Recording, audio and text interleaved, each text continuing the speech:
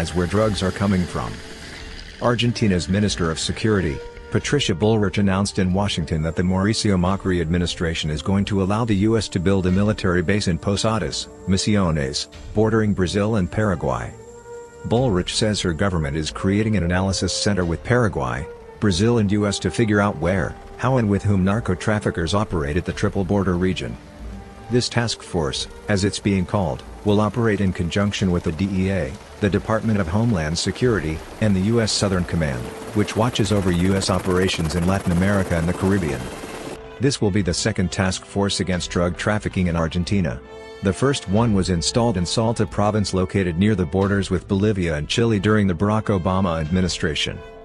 Bullrich told the press that the DEA initially wanted Argentine officials to send drug samples to the U.S. so the agency could analyze them for their origin. She said this would be against Argentine law and that officials within the country would analyze the drugs.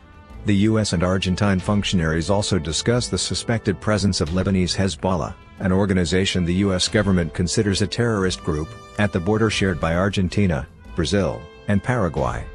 It's important for our government to collaborate with the US and that they collaborate with us. We're going to work together at the triple border regarding terrorism. We think we'll have DEA and other agencies there to better understand what's happening in the region, Bullrich assured the press. The Minister of Security also met with Federal Bureau of Investigation and the Department of Homeland Security officials in Washington to discuss their training of Argentine federal police. After leaving Washington Bullrich flew to Miami to meet with the Chief of U.S. Southern Command. Admiral Kurt W. Tidd and the Defense Minister of Argentina, Oscar Aguad. Admiral Tidd was recently in Colombia meeting with its military forces. Human rights organizations are protesting the increased U.S. military presence in Latin America and the Caribbean. The former Argentine ambassador to Venezuela and the United Kingdom, Alicia Castro, tweeted of Bullrich's proposed policies, Do you want to see how the U.S. combats terrorism? Look at the Middle East devastated. And combating narco-trafficking? Look at the cartels and assassinations in Colombia y Mexico, the places where the DEA intervenes.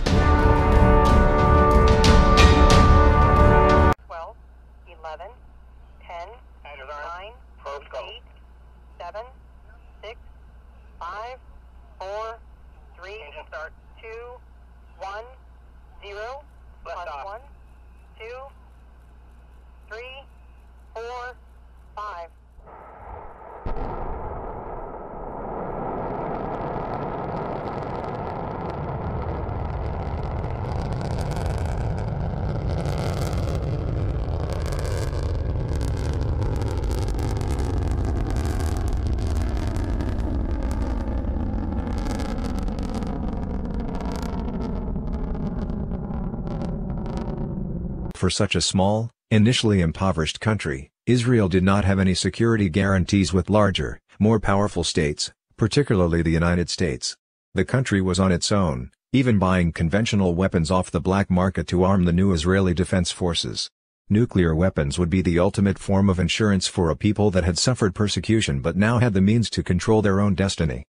Ben-Gurion instructed his science advisor, Ernst David Bergmann, to direct Israel's clandestine nuclear effort and set up and chair the Israel Atomic Energy Commission. Shimon Peres, who later went on to serve as President and Prime Minister of Israel, cultivated contacts with a sympathetic France that resulted in the latter agreeing to supply a large, heavy water nuclear reactor and an underground plutonium reprocessing plant, which would turn spent reactor fuel into the key ingredient for nuclear weapons. The reactor was built at Dimona in the Negev desert. By the late 1960s the United States assessed Israeli nukes as probable, and U.S. efforts to slow the nuclear program and get Israel to join the Nuclear Non-Proliferation Treaty went nowhere. Finally in September 1969, Nixon and Israeli Prime Minister Golda Meir reportedly reached a secret agreement that the United States would cease its demand for inspections and Israeli compliance with anti-proliferation efforts, and in return Israel would not declare or test its nuclear weapons. Not much is known about early Israeli weapons, particularly their yield and the size of the stockpile.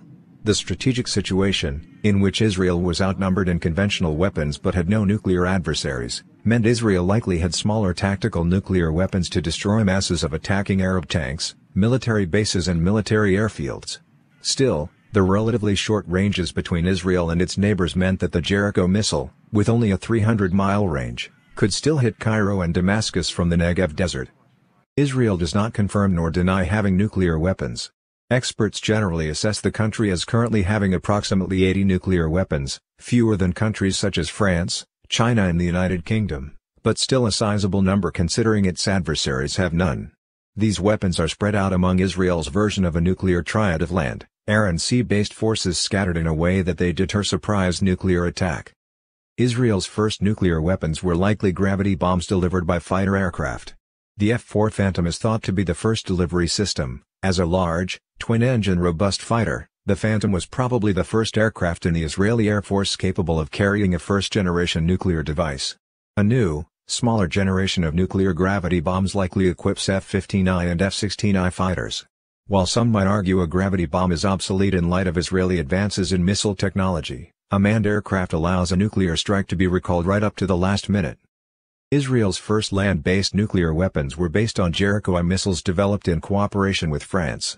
Jericho I is believed to have been retired, replaced by Jericho II and III ballistic missiles. Jericho II has a range of 932 miles, while Jericho 3, designed to hold Iran and other distant states at risk, has a range of at least 3,106 miles. The total number of Israeli ballistic missiles is unknown, but estimated by experts to number at least two dozen. Like other nuclear-armed nations, the Israeli Navy has reportedly deployed nukes to what is generally agreed to as the most survivable seagoing platform, submarines.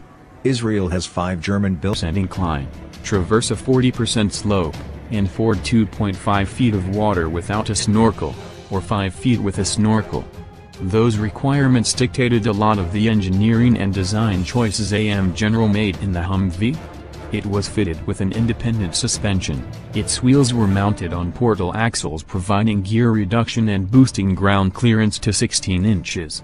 The Humvee's entire drivetrain and even its brakes were sucked up into the body of the vehicle making the cabin a tight squeeze but ensuring that the Humvee's off-road ability would meet military requirements. The whole package was rounded out with a full-time four-wheel drive system with a two-speed transfer case, locking differentials, and a central tire inflation system. Although much of the military's requirements for the JLTV are still classified, it did want the 14,00-pound JLTV to go everywhere the Humvee could go but be faster and with more capability. To that end, Oshkosh fits each JLTV with its TAK-4i suspension system.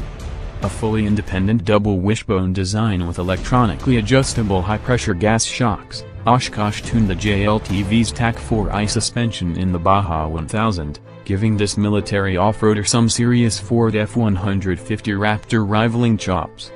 The JLTV suspension has 20 inches of wheel travel and the ability to raise and lower the suspension as needed negating the need for portal axles. Without the optional snorkel kit, and with its suspension in its highest setting, the JLTV can ford 5 feet of water without breaking a sweat. Like the Humvee, the JLTV also has a full-time four-wheel drive system with low range, locking differentials, and ACTUS. Although Humvees were initially pretty reliable in the field, as they aged and as the military upgraded them with heavy armor that increased wear and tear, they became garage queens to many servicemen and women. During the testing phase of the JLTV program, the U.S. Army and Marine Corps brought along 22 UP armored Humvees to test alongside Oshkosh, Lockheed Martin, and AM General's JLTV entrants, with each manufacturer providing 22 test vehicles. During nearly three years of testing, platoons equipped with Oshkosh JLTVs had the highest levels of mission success. Oshkosh's JLTVs were also far and away the most reliable of the bunch, averaging 7,051 miles between operational mission failure, defined as a system failure that prevents the vehicle from accomplishing its mission. UP armored Humvees were surprisingly the second most reliable of the group, averaging 2,968 miles between failures, followed by the Lockheed Martin JLTV at 1,271 miles between failures and the AM General BRVO-JLTV, which averaged 526 miles between failures. Humvees offered up far better protection to its occupants compared to the open-air Jeeps they replaced. In the same way that AM General improved the light tactical vehicle by adding a roof and doors, Oshkosh does the same by baking a base level of armor into each JLTV. Utilizing lessons learned on its MATV MRAP, Mine-resistant ambush-protected vehicle program. The automated AGS can fire 10 rocket-assisted, precision-guided projectiles per minute at targets over 100 miles away. Those projectiles use GPS and inertial guidance to improve the gun's accuracy to a 50 meter, 164 feet, circle of probable error, meaning that half of its GPS guided shells will fall within that distance from the target. The projectile responsible for that accuracy, Something far too complex to just be called a shell or bullet is the long-range land attack projectile. Uh, each projectile has precision guidance provided by internal global positioning and inertial sensors, and bursts of LRLAPs could in theory be fired over a minute following different ballistic trajectories that cause them to land all at the same time.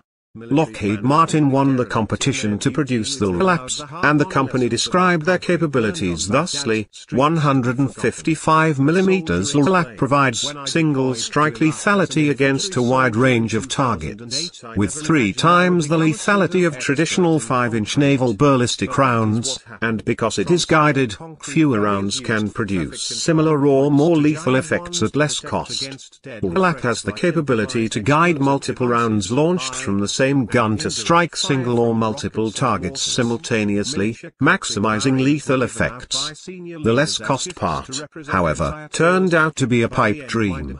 With the reduction of the Zumwalt class to a total of three ships, the corresponding reduction in requirements for LAP production raised the production costs just as the price of the ships they would be deployed to soared. Defense News reports that the Navy is cancelling production of the LAP because of in $800,000 per shot price tag, more than 10 times the original projected cost.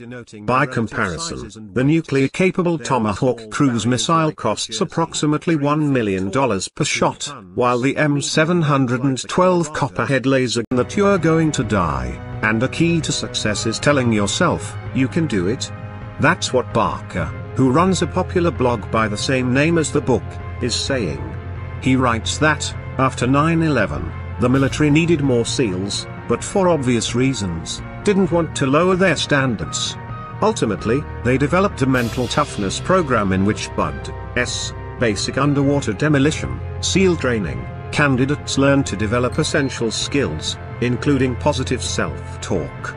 In fact, Barker writes, when the Navy started teaching candidates to use positive self-talk, in conjunction with the other skills, BUD, S passing rates improved almost 10%. The History Channel documentary The Brain, you can watch a clip here, explores how positive self-talk can help BUD S candidates' chances of success. According to the documentary, the average person says between 300 and 1000 words to themselves every single minute. If these words are positive instead of negative, they help override the fear signal coming from a part of the brain called the amygdala. The amygdala kicks into gear during threatening situations like pool comp, the underwater exercise described above. Barker gives examples of negative self-talk, I'm just not cut out for this or I've never been any good at these things, and of positive self-talk, I just need to keep working at it or I just need better tips on form. If the second set of thoughts becomes your default, Barker says, you're more likely to succeed at whatever you're trying to accomplish. Note that you're not telling yourself, everything